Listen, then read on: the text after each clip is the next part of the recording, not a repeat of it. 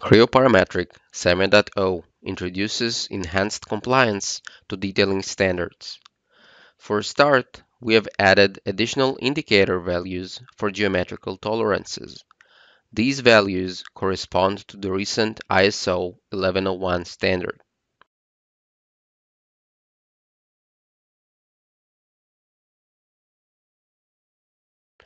The enhanced compliance to the recent standards also contains some new symbols that were added to the symbol palette and an updated syntax checker logic. In reality, it might take a while until a company updates their tolerancing standard version to the latest. So we have added additional flexibility to allow choosing which standard version is going to be used by the syntax checker for your models or drawings. In this example, I am updating a GTOL with one of the new symbols. The syntax shows error because the tolerancing standard for this model is set to an older version. But once I choose to update it, I will no longer get this error.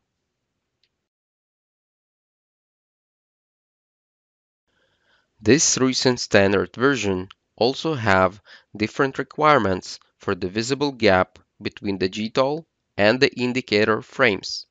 So you can control it with the new detail option GTOL indicator attached.